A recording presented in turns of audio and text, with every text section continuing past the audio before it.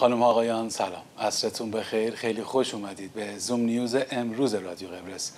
بخش خبری جیهان را خبر اعطای تابعیت به 17 نفر دیگه کلی سوال به همراه خودش داشت. فرصت نشد یه سرچ جامع بکنیم اما یه مرور مختصری داشته باشیم روی وطن داشت که همون تابعیت هست و بیاز کیملی که به نوعی میشه اقامت دائم.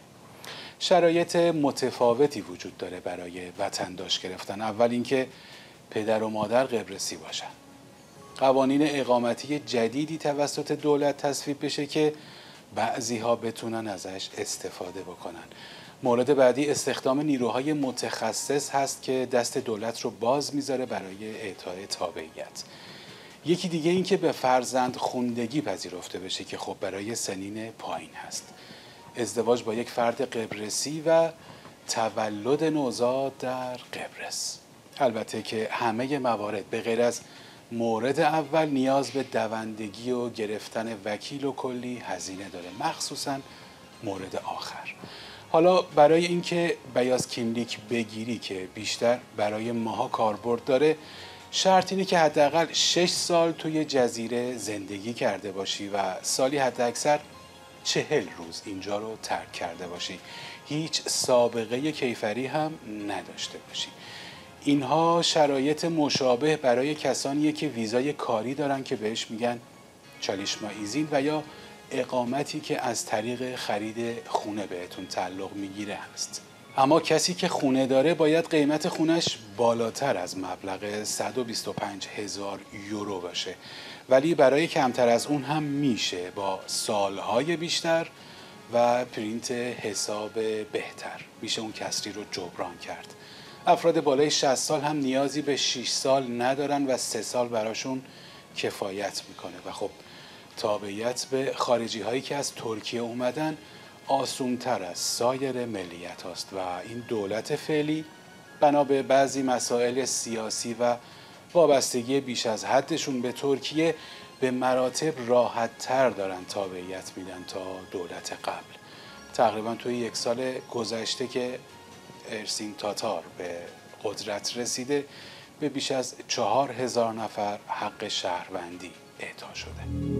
ماریا زخاروا سخنگوی امور خارجه روسیه در پاسخ به این سوال که آیا با ترکیه در مورد احتمال به رسمیت شناختن وضعیت کریمه و قبرس شمالی مذاکره کردید یا خیر گفته شبیه سازی بین کریمه روسیه و جمهوری ترک قبرس شمالی اشتباهه.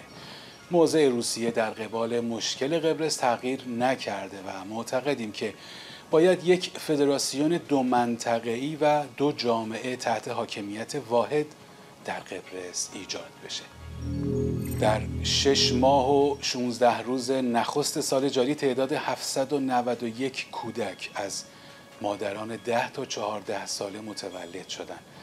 همچنین در همین بازه زمانی یعنی از سی اسفند 99 تا 16 مهر 1400 تعداد 36562 کودک از مادران 15 تا 19 ساله متولد شدند و استان سیستان و بلوچستان با تولد 127 پسر و 121 دختر از مادران 10 تا 14 ساله در صدر این آمار قرار داره.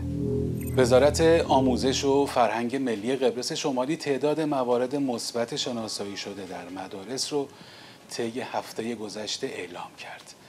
بر این اساس 223 دانش آموز، 18 معلم و 9 کارمند مبتلا به ویروس کرونا بودند. همچنین گزارش شده 536 دانش آموز، 43 معلم و 10 پرسنل هم شناسایی شدند که در تماس با افراد مثبت بودند. 11857 نفر آمار مبتلایان جدید کرونا در ایران و متاسفانه در گذشتگان این بیماری 197 نفر اعلام شده. شوپنهاور میگه با کسایی بحث کن که حرفای بی ربط نمی‌زنن. عزت نفس دارن. حقیقت براشون مهمه و اگر حق با طرف مقابل باشه اشتباهشون رو قبول می‌کنن. در نتیجه به ندرت پیش میاد که لازم باشه با کسی بحث کنیم.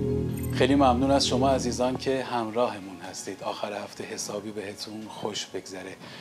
ویکی گویا یادتون نره و اگر دوست داشتید دل نوشته هاتون رو برامون ارسال کنید تا حال خوب اونها رو هم با بقیه به اشتراک بذاریم. دلتون شاد. لبتون خندان